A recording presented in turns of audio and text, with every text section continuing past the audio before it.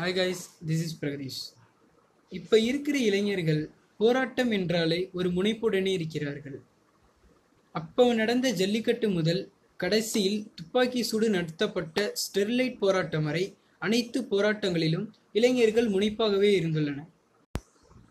கண்டிப்பாக இளைஞர்கள் அனைத்து போராட்டங்களிலும் தனது முழு மூச்சை செலுத்த இயலாது.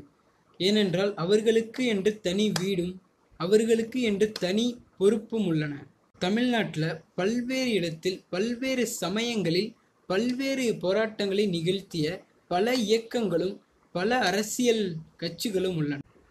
தற்போது தமிழ்நாட்டில் தமிழ் தேசியம் பேசும் பல்வேறு கட்சிகளும் இயக்கங்களும் தொடர்ந்து வலம் வருகின்றனர். அதில் குறிப்பிடத்தக்க ஒருவர் திருமுருகன் காந்தி.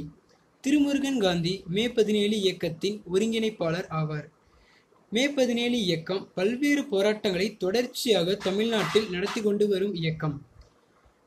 மே பதினேழு இயக்கம் என்பது அடிப்படையில் இரண்டாயிரத்தி ஒன்பதில் சிங்களவர்களால் தமிழ் ஈழ பழுகொலை நடத்தப்பட்டதை அடிப்படையாக வைத்து தொடங்கப்பட்டது.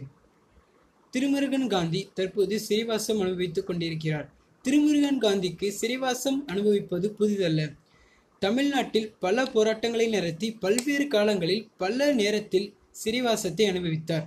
திருமுருகன் காந்தி சிறைவாசத்திலேயே தனது வாழ்நாளை பல வருடங்கள் கழித்துள்ளார்.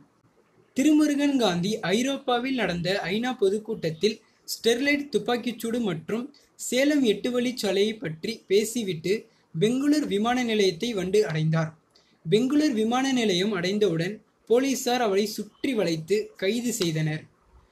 ஏன் கைது செய்கிறீர்கள் என்று கேட்டதற்கு லுக் அவுட் நோட்டீஸ் கொடுத்து உங்களை இதற்கு தான் கைது செய்கிறோம் என்று போலீசார் கூறினர். திருமுருகன் காந்தியை கைது செய்த போலீசார் சென்னை உயர்நீதிமன்றத்தை அணுகினர்.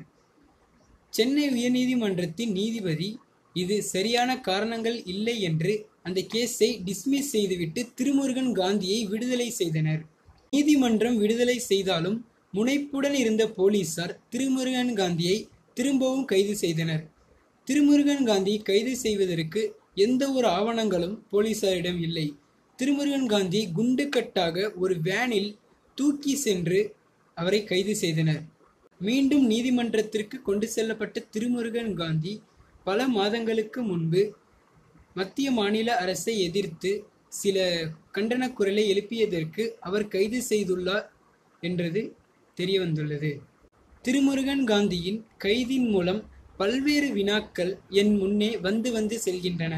போலீசார் திருமுருகன் காந்தி கைது செல்ல ஏன் இந்த முனைப்பு காட்டுகிறார் என்றும் திருமுருகன் காந்தி கைது செய்வதற்கு வேறு எந்த காரணங்களும் உண்டா என்றும் திருமுருகன் காந்தி கைது செய்வதற்கு அரசியல்வாதிகள் பின்புலமாக இருக்கிறார்களா என்றும் பல வினாக்கள் என் முன்னே எழும்பி வருகின்றன.